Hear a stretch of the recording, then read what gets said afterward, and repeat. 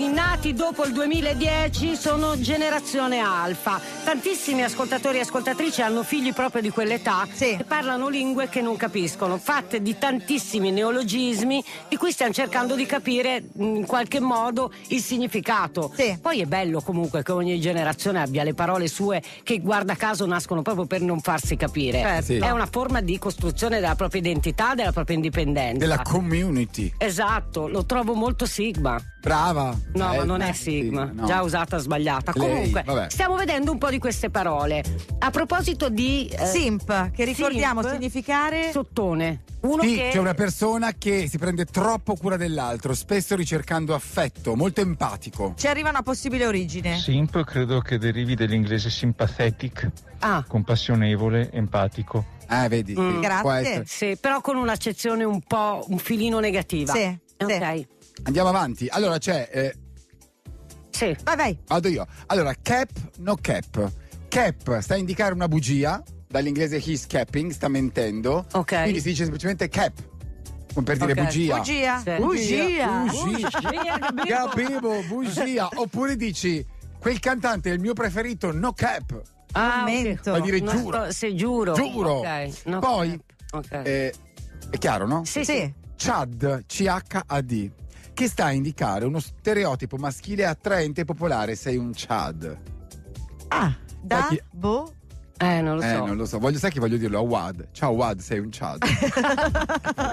Però a ci lo crede? salutiamo sempre dicendogli sempre solo miau.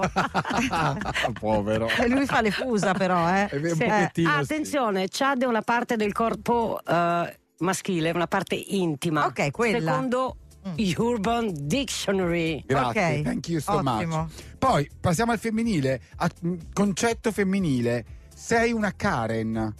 Questa sono io, ve lo sento. Sei una Karen, sono io. Termine che indica una donna presuntuosa ed esigente. E vedi? è la mia storia. Io, ragazzi, sono troppo una Karen. Questo lo voglio usare. Bello.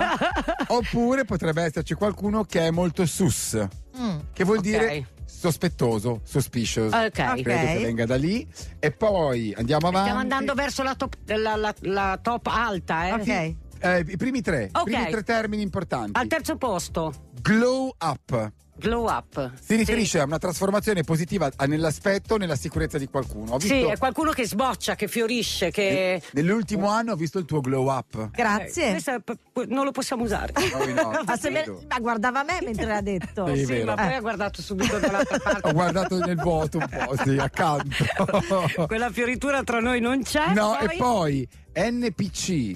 Eh, NPC? NPC credo che sia, per desc- non player character, eh, per descrivere qualcuno che agisce in modo prevedibile che non ha personalità. Ok. È proprio un NPC. Ok. Eh, e po- Ultima? eh, vabbè, questa si sa, ormai è stata molto sdoganata, è cringe. Ok. Ok. Cringe è qualcosa che mette in imbarazzo socialmente, mette in imbarazzo, cioè fa sentire... Noi. Ti di- sì, sì. sì. Pinocchio. Noi singolarmente, noi come gruppetto, Sì. noi come programma, noi. Cringe. Eccoci.